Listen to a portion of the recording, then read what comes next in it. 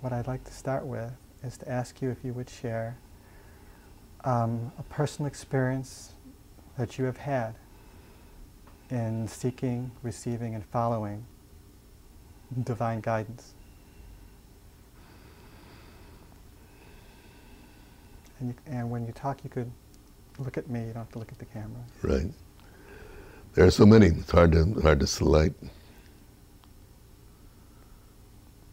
Perhaps an earlier one uh, was the most dramatic for me, in that um, I've been invited to speak in Israel.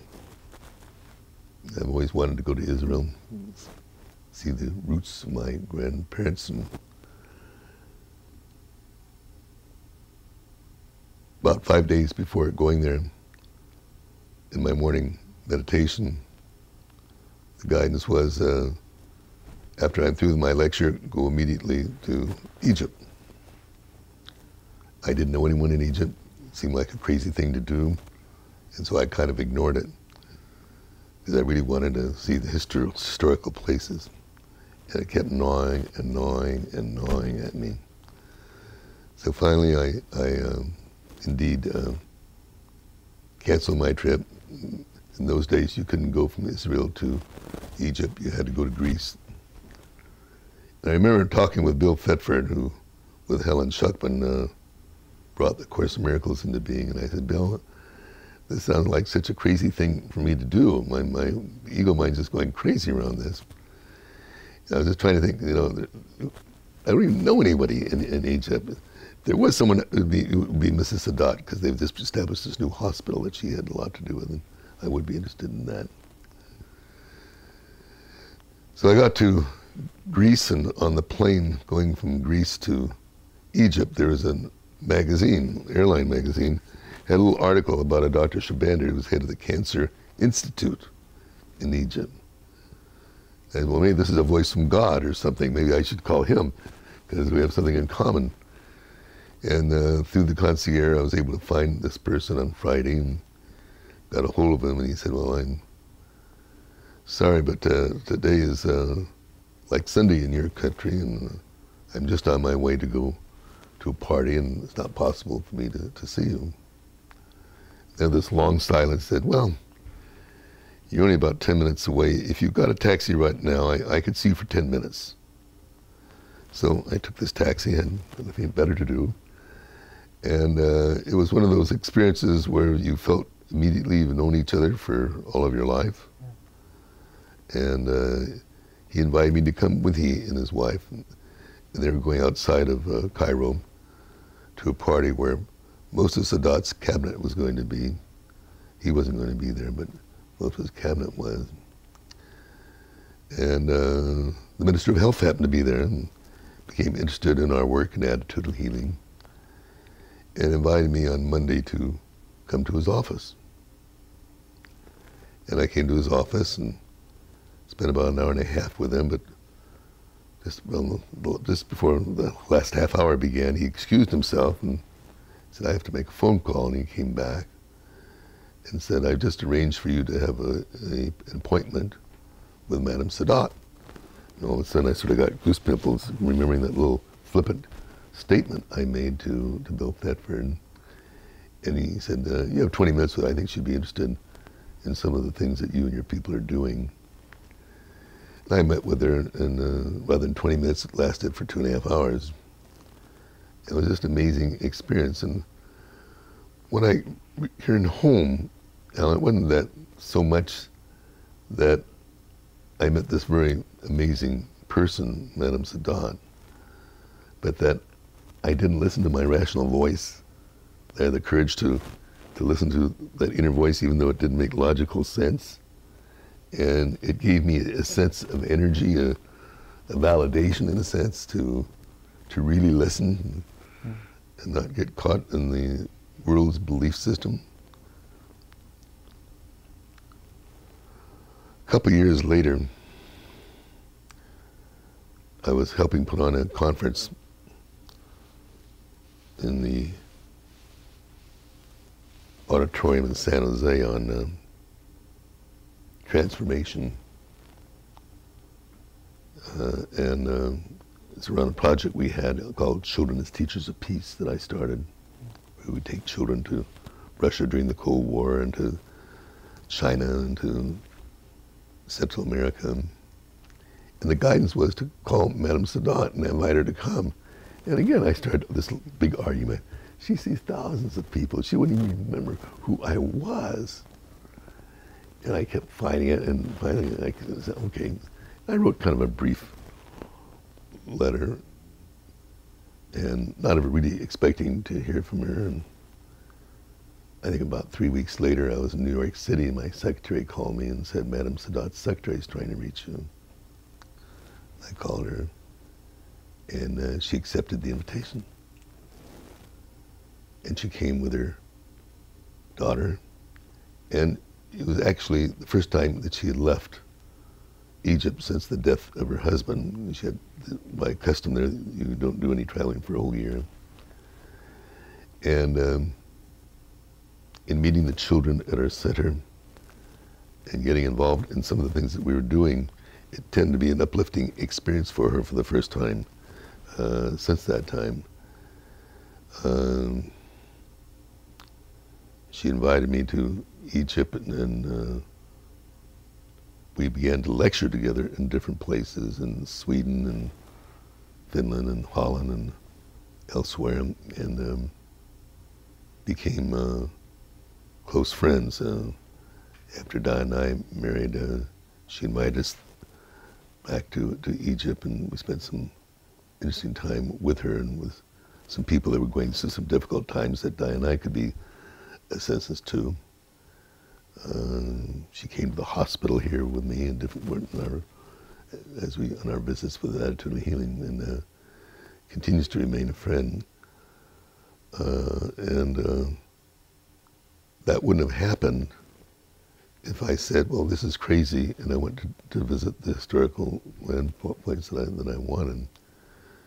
So I would say that uh, that was very early in my experience as, on a spiritual pathway. That was I started my spiritual journey consciously in 1975. And um, so that was a, and of course there are many, many different examples like that. For example, this house that we, that you find yourself in. When I got divorced in 1973, after a 20 year marriage, it was a very difficult divorce, painful divorce. I wasn't on any spiritual journey at the time, and I was full of guilt and full of anger.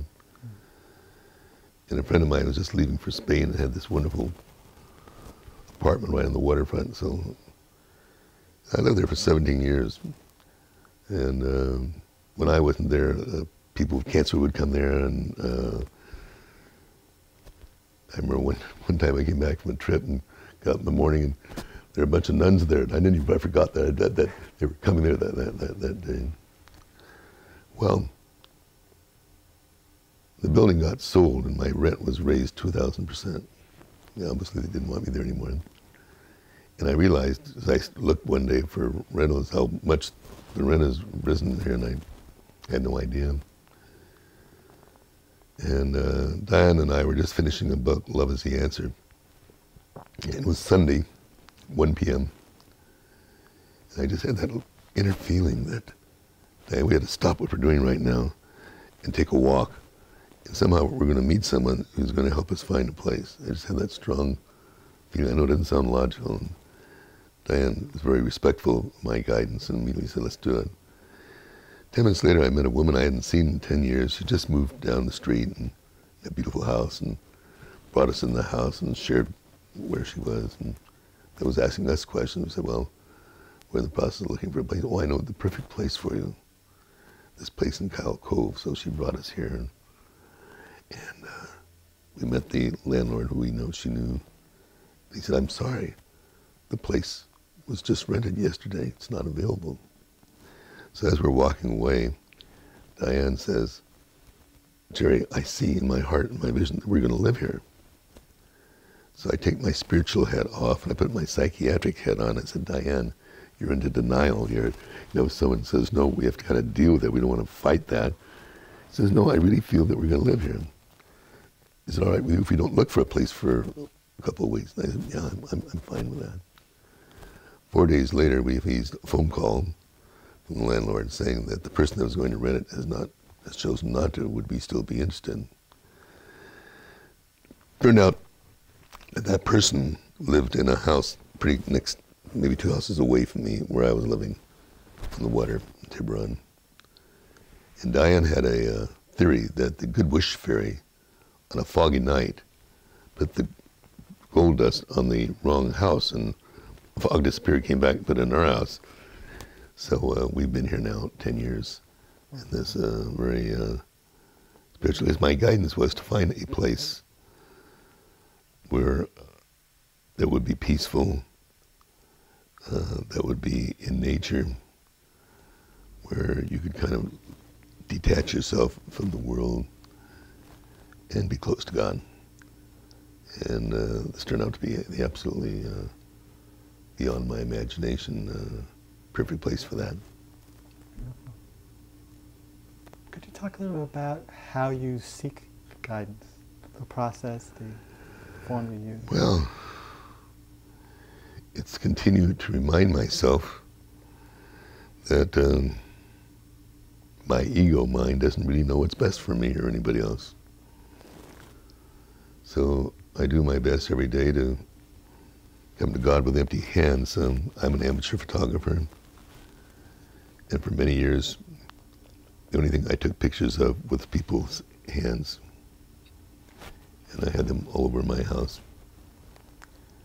to remind me to come to God with empty hands, not hold on to anything to the past, to say that I really don't know what, what's best. Uh, when I started my spiritual journey in 1975, the clear message was that my life was going to be different. Although I was an atheist at the time, it said that God and I, my will and God's will would be one, and that my life would be one of service. I had thought I'd been one of service, but really hadn't been. I was, I was very interested in a lot of material stuff in the world at that point. So it really means for me, um, starting the day, we get up at 4.30 by choice. Um, we do a prayer. Comes from A Course in Miracles. I'm not a body, I am free, for I'm still as God created me. I want the peace of God.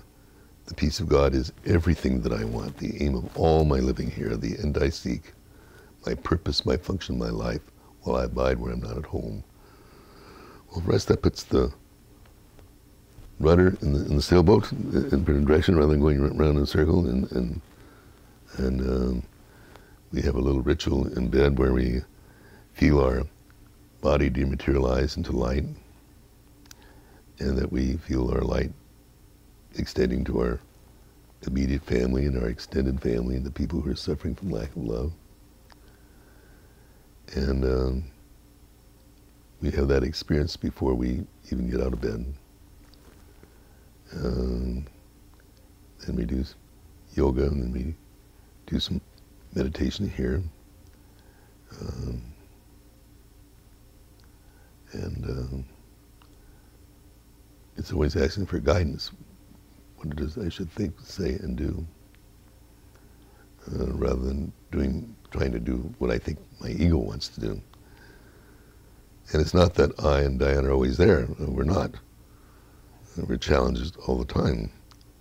But I would say more and more we're there as time as time as time moves on, and it feels that uh, so many miracles continue to happen in our lives that uh, would not be able to happen if they chose to do it in a different different way.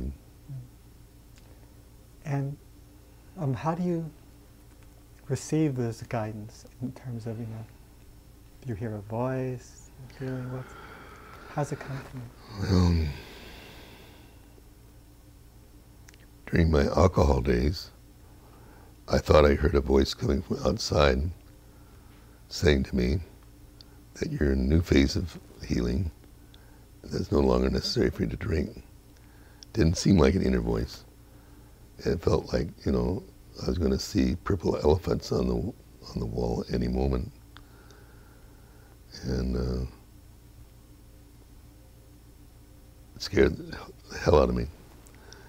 And then woke up, and forgot the dream and uh, what happened, and went to work and came home back and did my usual thing. I come to the kitchen, and get my scotch bottle, and so I had my hand on the scotch bottle. I heard that same voice, and uh, I didn't have any scotch, and uh, I lost about 60 pounds in like two months, not realizing I'd gotten that heavy.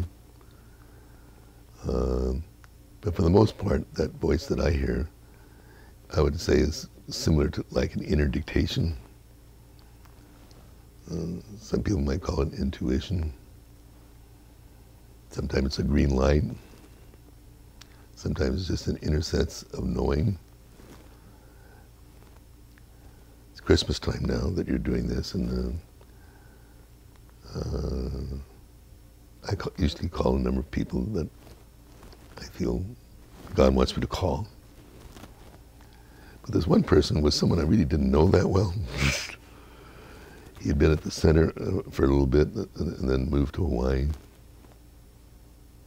And I called him and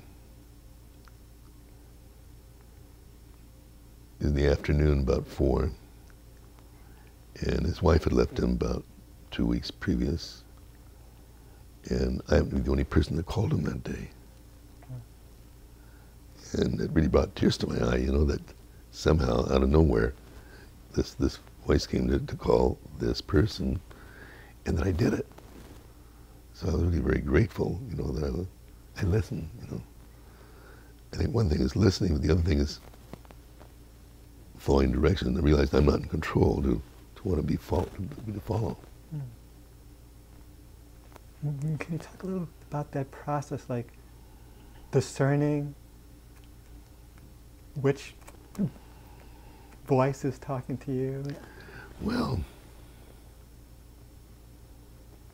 sometimes I'll ask a question and I don't get an answer. I figure it must be no. that my ego's involved in that, so it's not an I don't know, it's a no. So I look at I don't knows as, as, as no's and feel I don't have to make a decision about that today. I already made it, you know, in that way.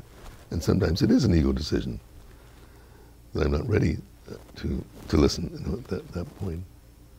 Are there certain so, qualities of the inner voice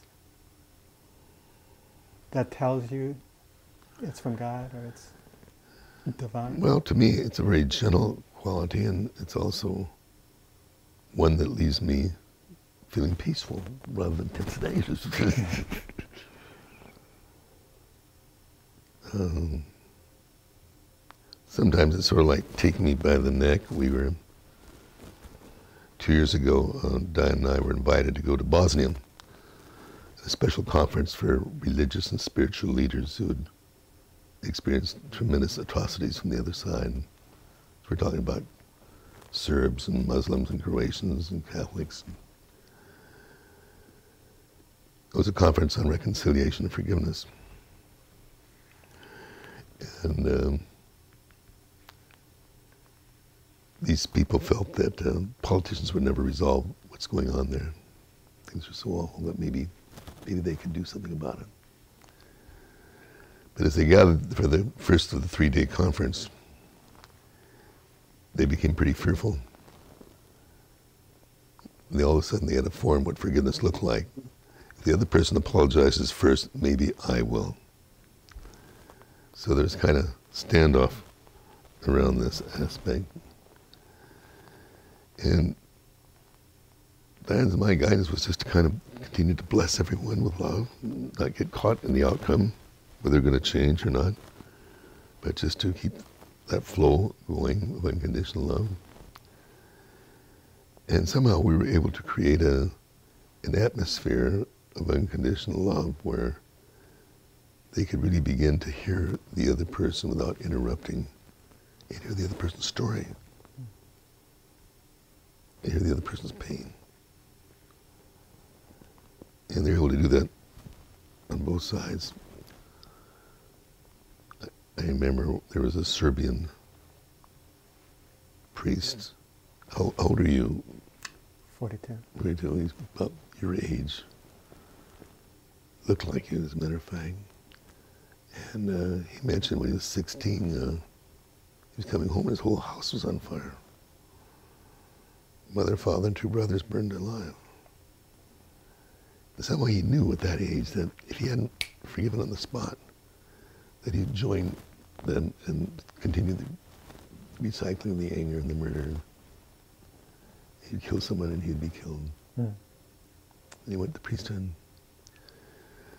Well, coming back on the plane, this was such a powerful experience. I was in the middle of another book, writing a book called Shortcuts to God. Sort of a, it's a sequel to Love is Letting Go of Fear after 20 years. I was pretty much involved in that book. And it was like God take me said, stop writing that book and write a book on forgiveness. So I did what I was supposed to do, and I wrote this book on uh, forgiveness, the greatest healer of all, which came out, what, in September of 1999. And then after that, I returned back and just finished Shortcuts to God, which will come out in September. But it wasn't a rational thing, because my rational mind says, well, you're in the middle of this, you got to finish this, and then you do that. Um, but it was almost like God taking my hand, you know, and saying, you know, this is what you're supposed to do right now. And I knew that's what I was supposed to do. I guess it's another way of saying it is learning not to doubt. Kind of getting that uh, doubting Thomas to dissolve, you know. How do you do that? By not getting involved in the outcome, by getting involved in, in, in just wanting to be a vehicle of um, really wanting to serve and not feeling that I need anything at this point, that whatever I need will be provided for. And to uh, not ask the wrong question about the future and things of that sort. Hmm. For example, I, I had some serious problems with my, I have glaucoma. My mother was blind from glaucoma. Medically, it's a degenerative disease that leads to blindness. My left eye is functionally blind. And my right eye began to get in trouble, and I had an operation. And um, I had some problems in the beginning listening to God's voice. And my ego voice came up and saying, well, what happens if uh, the operation is not a success or that uh, you end up being blind? And, finally, I was able to turn that around. Stopped asking that question. Keep in the present, see what you can do to be helpful all every part of the way in your journey. So uh, in the hospital, the nurse was taking my pulse and blood pressure and said, my Dr. Jampolsky, you seem so calm and your pulse is so low and your blood pressure. What, is there something drug you're taking? I said, no, I, I, I, just have a relationship with God that helps me very much. So, you know, I'm having a lot of problems with God today. Could you help me? And so I was keeping the consciousness of helping her. And of course, I wasn't asking questions about the future. Then the anesthesiologist came in, and my guidance was to get his attention by saying to him that I understand with HMOs that a lot of anesthesiologists are not making the same kind of money they're making before. Do you have some feelings about that? All of a sudden, all this anger came out, and I could really listen and be there for him. Then they wheeled me into surgery, and my brother is a very famous ophthalmologist, mainly with children, strabismus. But I knew this, my eye doctor knew that my brother, in one sense, would be looking over his shoulder and so I decided to bring that out in the open. I said, you know. Lee, uh, you, you, and I both know that my brother's probably looking over your shoulder. and if you feel that way, there'd be some little tension, a little, anxiety about it. And I just like to suggest that forget my name is Jampolsky, treat me as Jerry Smith. and, you know, maybe acknowledge that you might, and then let, let go of that, and then we can both go on. and say, you know, I'm really glad you mentioned that, Jerry, you know, because I was concerned about that. Just, just hearing you talk about it allow me to get rid of it. So allow me just to kind of stay in the present all, all the time. I had another operation in my eye that a year later that ended up in uh, a very severe infection of the inner ball of my eye, very painful, and usually 99% causes permanent blindness. And uh, actually, I was blind for about three weeks, and after the first week, I asked my wife to go back to work. Then I have people come in and help me read my mail and take me where I need to go. But I just think I need to get back to feeling normal kind of life, not being just dependent. Well, what happened, Alan, was um, a lot of the people that I'd worked with uh, came back to help me. Uh, Sally Kinn is a, I guess she's in her 40s now, but teenager when I saw her, she had serious cancer. And uh,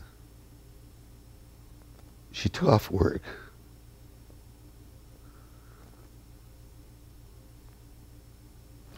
On her birthday, come help me, saying that uh, this is her gift to me. Because she didn't think she'd be here if she hadn't come to the Center of Attitudinal Healing. And I saw many other people in the same way. A mother whose uh, son had died of AIDS that I had been helpful to him. And uh, the lesson for me that I felt God was giving me was the, the first book I'd ever written was To Give is to Receive, a mini course for healing relationships. And I think I really understood what giving was, but I really didn't understand what receiving was. There's that part of my ego that wanted to be independent and strong. And here I was learning to accept with grace people giving to me. I come from a family that my father had a mother had a small date store, and, and uh, they're very giving people. You know, at Christmas time, boy, they'd give to the Iceman, to the little gift here and little gift here, but they weren't very good accepting gifts.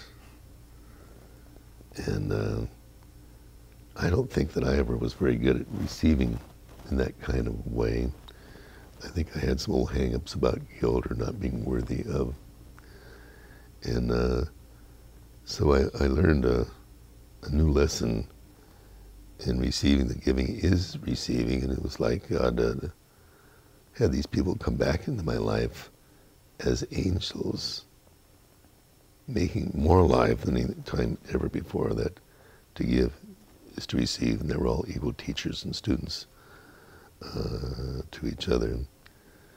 And that no matter what's happening to you, it can be turned around into a positive lesson God would have us learn. So I began to um, see um, that the most important thing for me was to see people in the light, see people with Christ vision. Uh, there's one liner I like in the Course of Miracles that uh, today I choose to use Christ's vision to look upon all things and judge them not, but I would give them the miracle of love instead. So a lot of miracles keep happening. Uh, you and I talked a little bit, you're Jewish, about what your experience with Jesus. Well, my experience with Jesus as a Jew was he never mentioned that word or a negative word. So I came involved in the Course of Miracles, and a lot of the Christian terminology was like pornography a little bit. And I remember one day that um, I found that uh, in my meditation that uh, my relationship with Jesus was very abstract.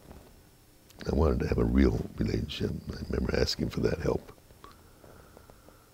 And I really believe when you ask God for help, you get it. I remember saying that to Diane. And um,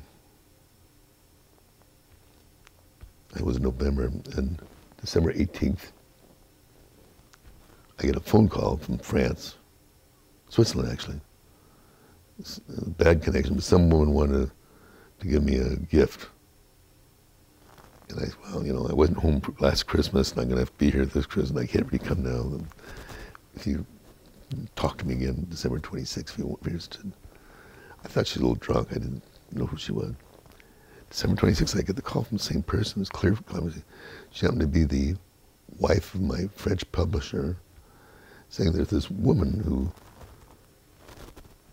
was one of the wealthiest people in, in Finland and come to England, not to Switzerland, and was a very cantankerous woman, didn't like people. Came across my book, Love is Letting Go of Fear. It came like a Bible to her. Changed her life. Changed her name to Happy. Uh, gave all her money away. She only had one thing left, and that was a 13th century painting of Jesus Christ that had been in her family for centuries. And she'd gone up in the mountains to meditate what she should do with this painting and came back and said, I'm supposed to give it to Jampolsky, author of Love is Letting Go of Fear. The people around her said, look, you never even met this person. He's some flaky Jewish psychiatrist in California, you know. I don't think you really want to give it to him. Said, yes, I want to give it to him. So, um,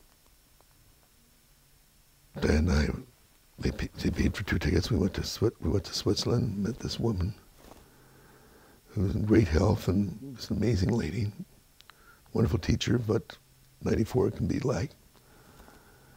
And she said, "Now I can die in peace." She was, I said, "You're very healthy." Oh, I, I know. And three weeks later, she died in her sleep. This painting has been used in the Russia and the Tsar time, and a train station where people come on the car and get healed. There's a minister here who I befriended and got in trouble because of sexual activity. And I referred him to a therapist. But one Sunday, the therapist is out, and it was August, where most of leave town. And he asked for help, so he came over here, and he was really depressed and almost suicidal. I spent two hours with him, Alan, and he was even worse when it was about time for him to leave. And all of a sudden, I got that message from God, really, saying, ask him if he can stay another 10 minutes. So I did. He said, yeah. So I took him upstairs and then sat on the stairs, looked back at the painting of Jesus there. And a miracle took place. This guy's whole physical structure, his emotional and spiritual structure shifted the guilt and the blame all disappeared. And he was healed. Amazing experience. He's no longer in the church, he's doing other things now, but his soul was healed. So um, Diane asked this woman for, she said, well, what should we do? He said, you'll know when you're supposed to give it away to someone else. But right now, it needs to be with you as a caretaker. So when she had mentioned that on the phone that it was a painting of Jesus Christ, then I said, well, okay, this is my message from November that God was giving me. So the first thing I see in the morning is, is this uh, painting. It's a rather feminine painting, uh, more of a feminine energy, uh, but it. Uh,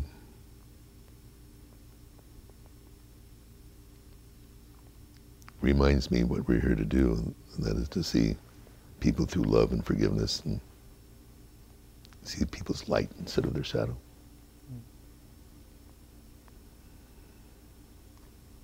Uh, uh, uh, do you have a, a feeling for what experiences or forces in your life brought you to the point of seeking?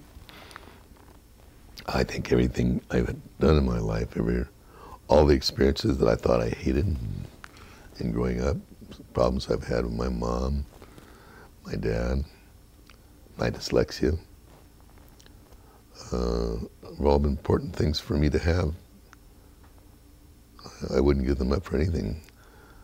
Um, my writing style is um, different than most. It's uh, most of my books have a lot of white space in them. Uh, I like smaller books, not bigger books, because I'm dyslexic. Uh, I remember on Love is the Answer, uh, Diane and I were writing this. I said, you know, Diane, I'd like my mechanic, who maybe he's not read a book since he left high school, to be able to read that and get something up. But I also like the professor of English at college, we be able to get it. And about four months after the book was out, my old Honda got in trouble, and I took it in, and the service manager was calling me, telling me what was wrong with it. And I said, "Could you be a little more simpler than that? I'm, I'm dyslexic. It's hard for me to understand what you're saying." Oh, that's right. You're the author, aren't you? You know, your mechanic told me that he's read all of your books. I, oh, thank you, God. thank you, God. Um, so I, I think uh, that there are no accidents in life. That uh, I know this is an interview, but I know that that's excuse for us to be together. The real reason is for us an experience with, with each other. And what happens to this interview and your uh, things are really secondary, not primary. And uh, there's no accidents. Everything that happens that there's a, for me, another way of getting closer to God, getting, letting go of the uh, parts of the onions, onions that keeps me in my ego. Mm. And my relationship with my ex-wife is great now, and that's a miracle because I never thought that would get healed. I'm sure she didn't either. Uh, my relationships with my two adult sons, which I never thought would get healed, uh, is, uh, I'm sure if you talk to them, they'd say I'm, I'm their best their best friend. And I'm just very blessed. About things have happened to me that I never thought would happen. And I guess that answers my next question, which was, um, how has it affected your life to follow guidance? Well, uh, it's given me a peace that I never thought I could have.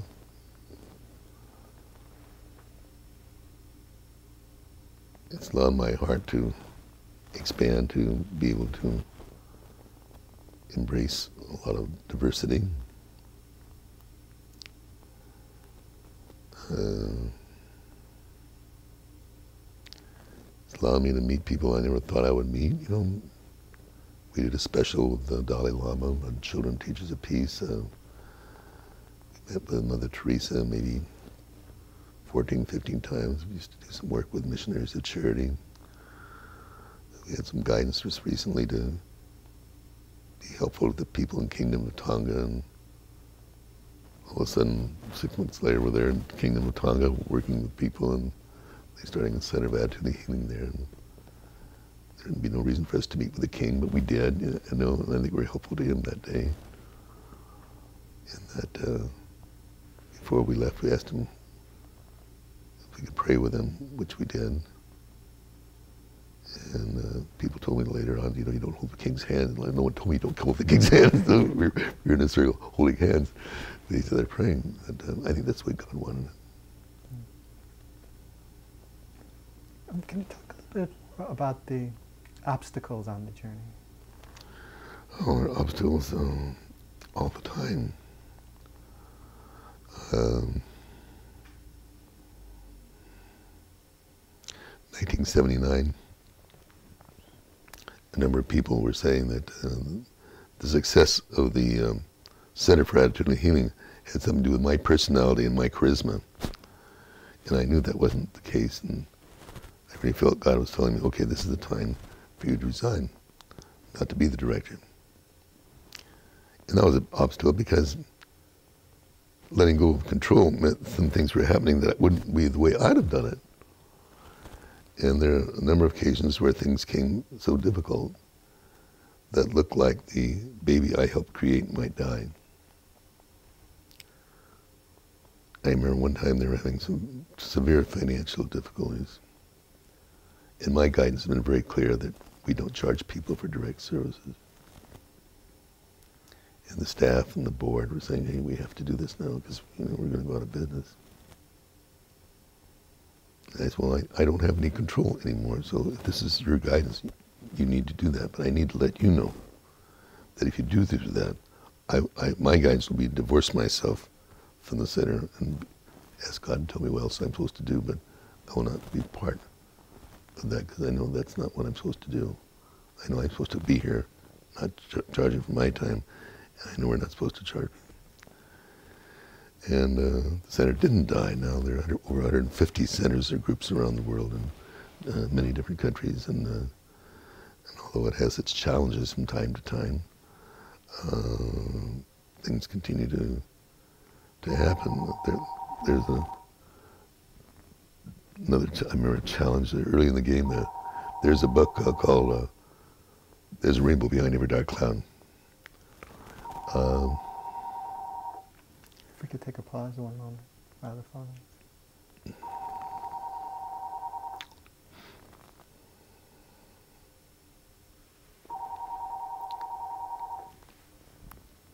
it should go off after five. There's a book. There's a Rainbow Behind Every Dark Cloud that the children wrote, and I helped help them do that, share their story. And uh, I was trying to get someone to publish it, no one to publish it. And uh, said, you need to have this published, even if it means you have to pay for it yourself. So I kept saying, well, I don't have the money, so I'm going to have to go, out get And uh,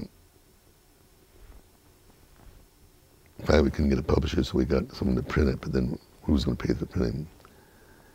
And all of a sudden, I get a call, the books have come and the bills come. And so I asked, well, has God forsaken me? what happened? Well, what I didn't know was there was a guy from the Bothin Foundation for Children. He'd come about four weeks previous, and I took him through the center, and about funding, and he didn't seem that interested. He wasn't that excited. You know, you're going through kind of a, you couldn't really read his feelings.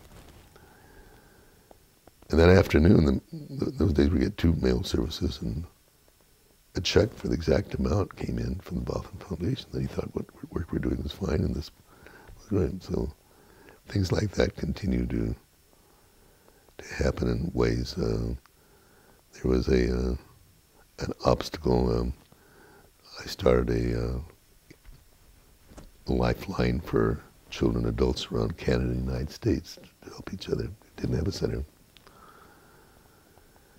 And our board president wrote up a grant for the San Francisco Foundation to, for a $30,000 grant to help the money for this.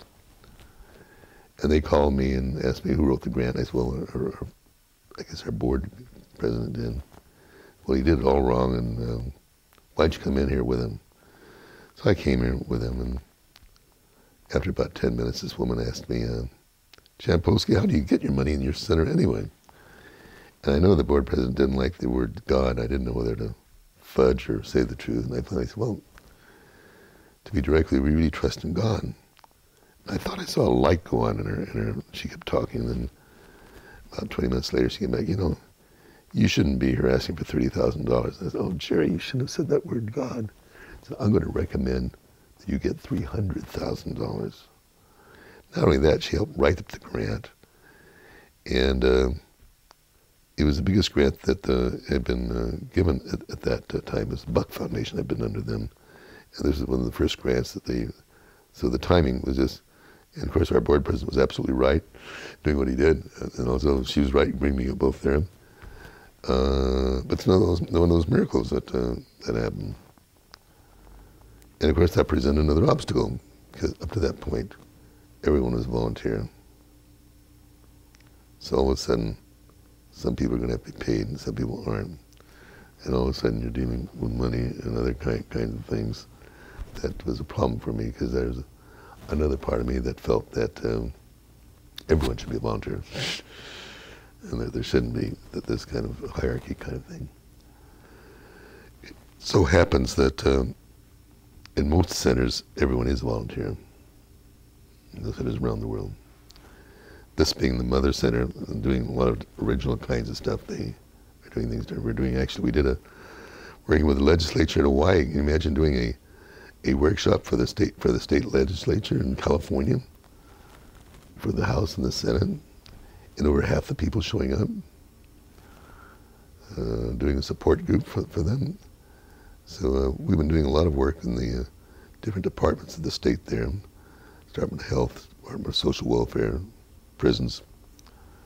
So I think my work is really based on making alive a little child shall lead them and uh, helping people see the innocent child in another person is really themselves, and regardless of the negative behavior that see a Mother Teresa inside that person, or another saint, or a Mandela in, inside that person. So um, to know that the light is what it's all about, not not the lampshade. Do you find um, sometimes it hard to listen to your voice? You, you talked about Sure, sometimes sure, the rational. Sure. You know, I think um, I think uh, when I'm in a lot of physical pain, it's more difficult to listen to that, to embrace the pain rather than fight it. Um,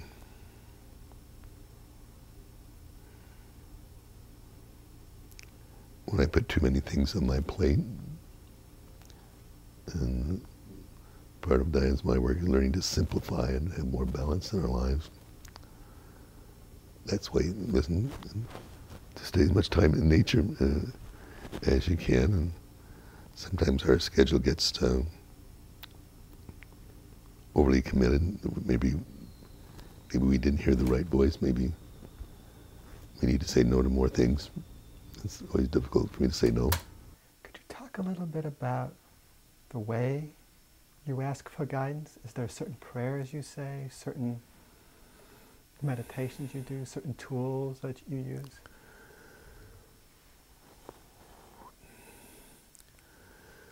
I do my. I think what meditation is about is to empty your mind of thoughts. I visualize a garbage disposal in my mind, taking all my junk thoughts away. So there's only loving thoughts of God that I can listen to. Um,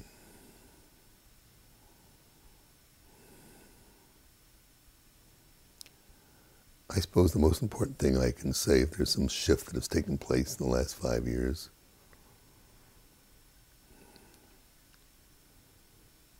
with many of the what I consider miraculous experiences I've been privileged to, is that I used to be sort of committed. And I know I'm totally committed now, and I think that's a, that's a big difference. That uh,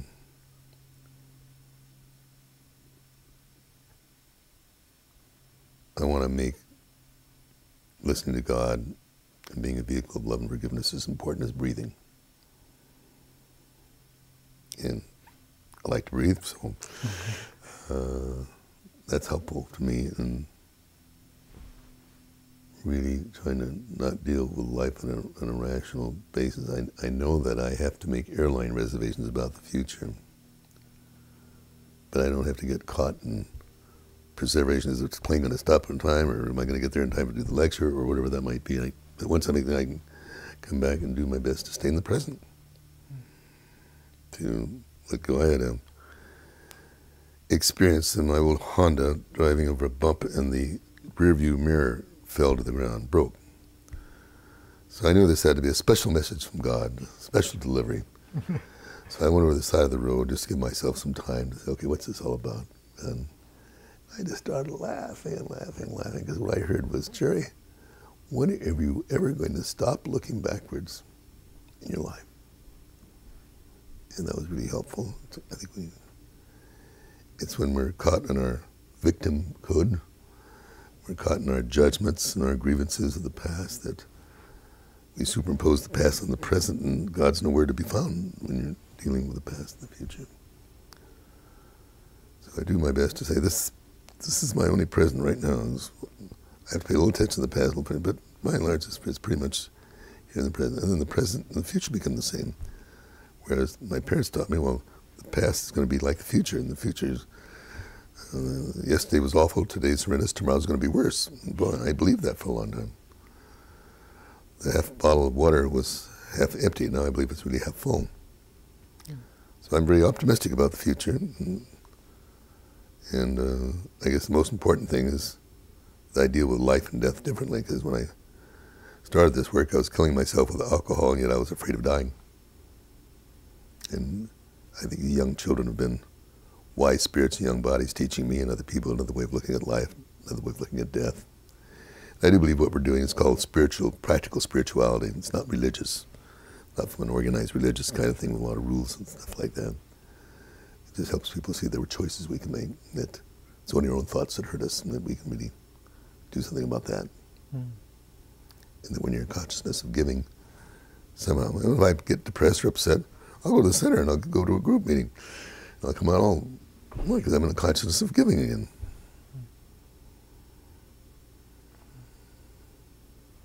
I don't think there are any neat prescriptions to your question, you know, really. Combination of many small, small. things that are very important. Do you use specific prayers from the Course? I do some specific prayers. I think I mentioned a few of those to, to, to you. But at this point, is, is it more just an intuitive process for you? Is that? Well, I write a lot of prayers myself, and, oh, and, I practice those prayers. Uh, I put, I put in, there's some in uh, out of darkness into the light, but there are a lot of new prayers that I put in this book uh, called um, "Good uh, the, the, Shortcuts to God." Uh, has a, a, number of uh, not only prayers but just self-reflections and uh, when I'm suffering from the dark night of the soul and the kind of insanity that you feel, the anger, putting some of those things so people can identify with that versus the other aspect and the sense of light and wonderment and beauty when you're really feeling at one with God. Hmm. Let me take a moment to make sure I've asked all my questions.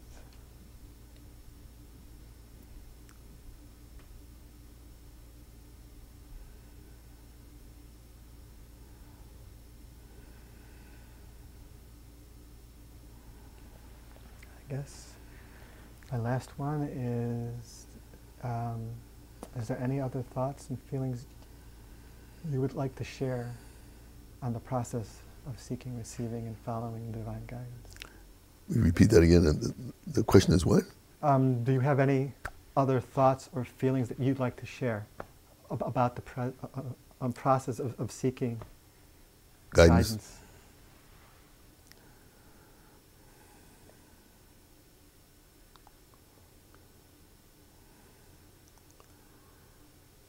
To understand that what we tend to call common sense is not spiritual sense.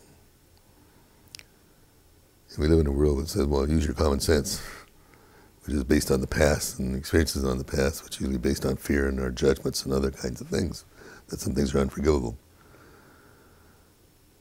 And I think when we're using our spiritual sense, it, it's really letting go of all your old models, uh, letting go of wanting to uh, win a popularity contest.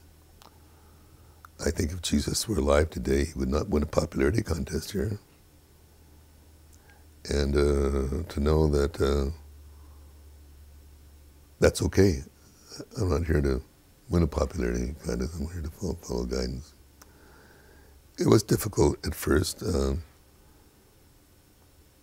when a lot of my medical colleagues felt I must have been in some kind of accident talking about God and love when I should be giving pills out or doing other things.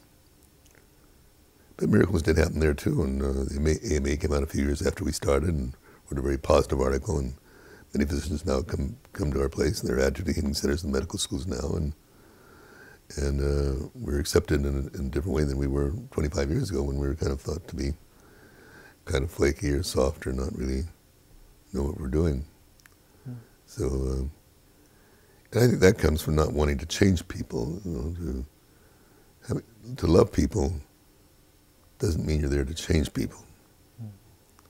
And uh, it's hard to hear that inner voice of guidance if you think you're here to change or to act in a reactive kind kind kind of way. And um, when you really know that we're more than just these bodies, and that uh, that when we are vehicles of God's love, that we are really uh, doing our best to heal the illusion that we're separate from each other and from God. And still accepting those that might not agree, not being an evangelist trying to make people believe that. But when you're demonstrating that yourself, that uh, then you're listening. And I guess the best litmus paper is what you're feeling inside, and are you are you feeling joyful? And I think uh, that lady in uh, Switzerland, when uh, Diane asked her, well, "What's your biggest secret?" She said, "Well, I let go of all my judgments." And if you look around you, Ellen, uh, people may not say they're using guidance, but uh, the real happiest people you know are, are, those people who are not making judgments mm. and are living life in a, in a kindly, loving way and walking lightly. And whether they use the word guidance or not may be not the point. Uh, there are many very godly people who don't believe, believe think they believe in God. Mm-hmm. So I guess it's to question our decision making based on the past, which is based on fear rather than love. I guess that's the most important thing I could say as an ending.